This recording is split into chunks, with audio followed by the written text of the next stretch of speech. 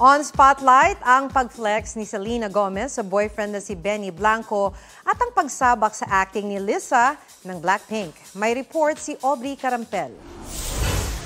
Blackpink Lisa in her acting era? Sasabak na rin kasi si Lisa sa acting sa American hit comedy drama series na The White Lotus Season 3. Sa ulat ng American media outlet na Variety, magsisimula na ang shooting ngayong buwan sa Thailand. Hindi pa idinadetalye ang magiging role ni Lisa for her acting debut. Nagsorry ang agency ng South Korean superstar na si Ji Chang-wook.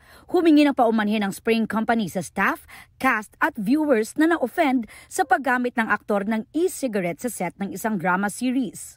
Mahigpit na ipinagbabawal sa South Korea ang paninigarilyo o pag-vape sa hindi designated areas. Kung si Taylor Swift may pa-kiss and hug for Travis Kelce sa Super Bowl, Finlex naman ang bestie niyang si Selena Gomez, ang kanyang boyfriend sa social media. Umani ng milyon-milyong likes and reactions ang series of sweet photos nila ng music producer na si Benny Blanco.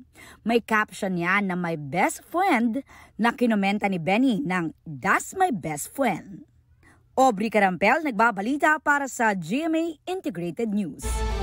Huwag magpahuli sa mga balitang dapat ninyong malaman. Mag-subscribe sa GMA Integrated News sa YouTube. Sa mga kapuso abroad, subaybayan nyo kami sa GMA Pinoy TV at sa www.gmanews.tv.